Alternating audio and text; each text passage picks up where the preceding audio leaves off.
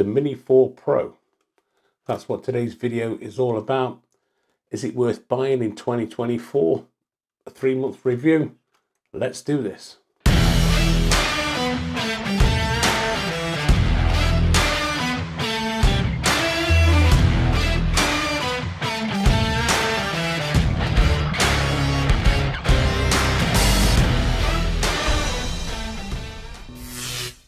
So hello, welcome once again to the channel on this uh, very nice day in the UK for once. Although the cold weather is about to uh, set upon us. So the Mini 4 Pro review, that's what today's video is about, the three month review. What's it all about? Is it worth it? So starting off, it's lightweight, it's small, it's the perfect travel drone and takes up very little space even with the Fly More combo package. It's fully packed with features which I'm going to go through and cover in the video. The first one I want to look at is the camera. So the camera up to 4K 60, 4K 100 in slow-mo, rotating camera as you can see in this clip just here. It's the only camera like the Mini 3 Pro that actually rotates so you can do vertical shots which makes it easier for TikTok, Instagram Reels and it saves cropping in post. It has 10-bit colour with D-Log and a fixed aperture of 1.7 which will let lots of light into the sensor and enable low light footage with ease. Night mode will reduce the noise and sharpness to your footage as you can see in this clip here. That 1.7 aperture lens lets a lot of light in and by using night mode that will reduce like I've just said the noise and add sharpness to your footage. Top features packed into a tiny little drone, Active Track 360, tracking from near and far using the inner and outer circles, being able to adjust the distance and the height, although there are limitations as the drone likes to follow you from behind when starting off.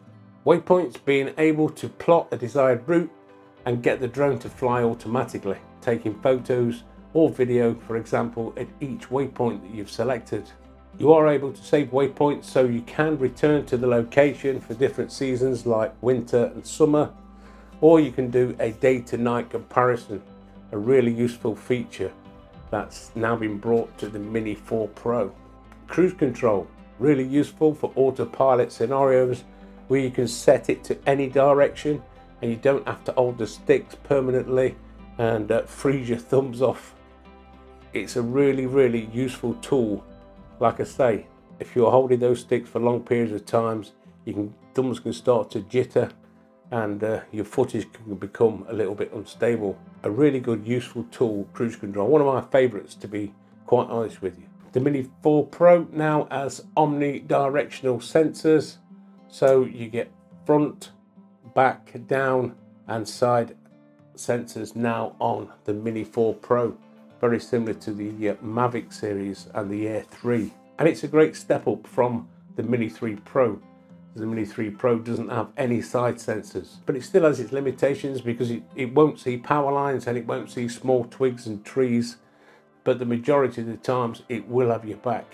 Personally, I wouldn't 100% trust it, but in the times that I have used it, it will avoid buildings and other large obstacles, including myself. If you fly it towards yourself, it will brake or bypass you, whichever mode you've got it set on. So just recently, the Mini 4 Pro has had a latest firmware update and that brings more features, Active Track 360 and now the new Auto Track which gives you those active shots. As you can see in this little clip just here, the drone will actually make its automated flight around you. It will hold, it will move to a different type of flight and it will track you while it's doing it as well. Quite a nice new touch on the Mini 4 Pro. They've also introduced Vision Assist. Vision Assist is where uh, it's able to see front, side and rear and you can use those sensors now as little cameras. You can see this little clip just here.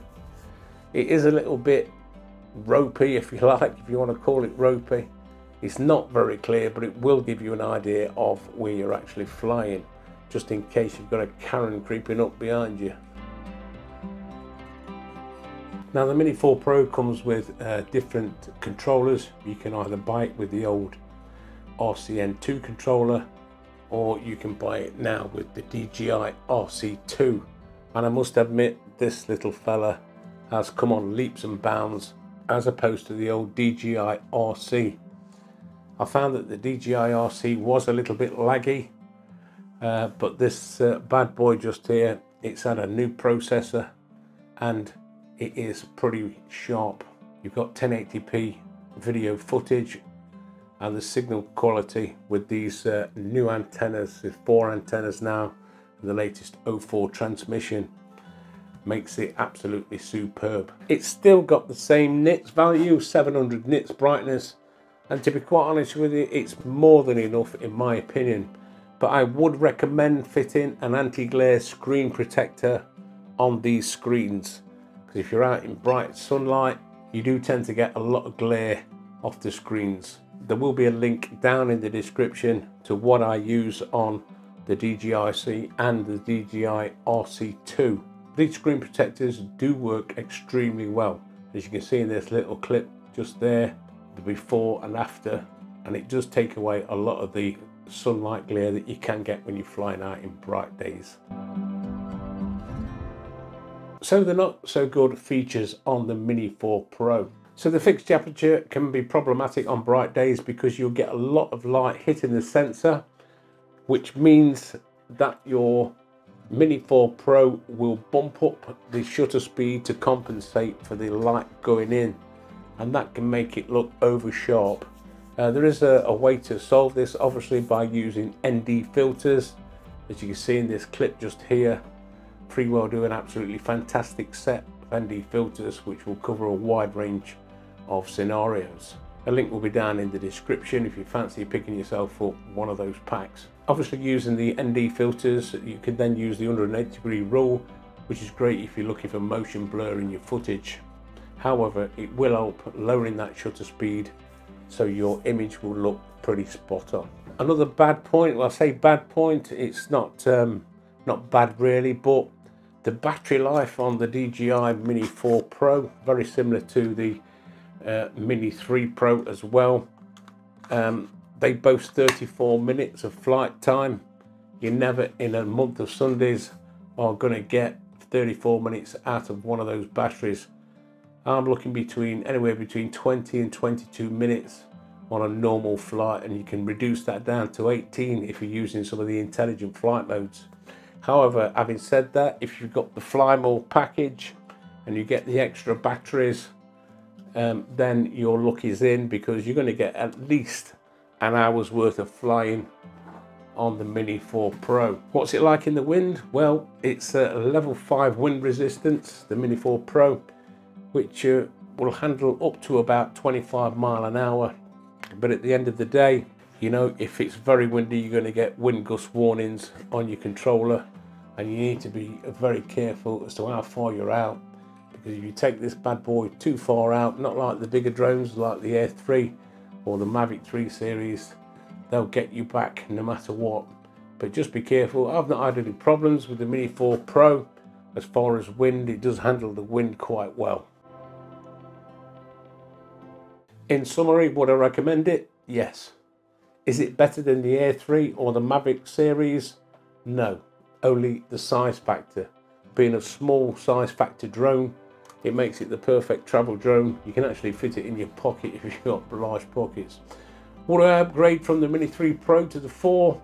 Well, if you're looking for the obstacle avoidance, the 360 omnidirectional avoidance, and waypoints. Waypoints is one of my favorite features as well. Cruise control, there's another good feature. Absolutely love cruise control. And now you've got the vision assist, then yes, if you're not bothered about the 360 avoidance and all those other features, you might as well buy the Mini 3 Pro. And in my opinion, if you're starting out in the drone world and you want the best that money can offer, the Mini 4 Pro is, in my opinion, one of the best drones on the market today. Do I think that DJI will make a better model this year? I wouldn't expect so, unless they upgrade the camera and still keep it under 250 grams. What would I like to see on a new mini drone? Well, as I just said, a better camera, better prop mounting system like on the Air 3 and the Mavic series. These little screws, these are an absolute nightmare to get out. And if you get one stuck, you're going to be sending this back to DJI. Um, it's not the best system. I much prefer the twist off propellers like you get on the Air 3 and the Mavic 3 as I've just said. So there we are in a nutshell. Uh, let me know in the comments below what you'd like to see on a new mini drone from DJI. Have you upgraded from the Mini 3 Pro to the Mini 4 Pro? And do you think it's the best mini drone on the market today? I certainly do. It's fun, it's fully packed with features, and it does just about everything. Be nice if you've got that camera very similar to the Air 3 or something very similar. Like I say, if they can make it small enough and they can make the weight less than 250 grams. So there we go in the nutshell. Hope you've enjoyed it. Hope you've got something out of the video. If you have, don't forget, give us the old thumbs up. And if you're new around here, why don't you consider subscribing, dinging the dong, and all the rest of it that goes with it and you might like to watch those couple of videos over there.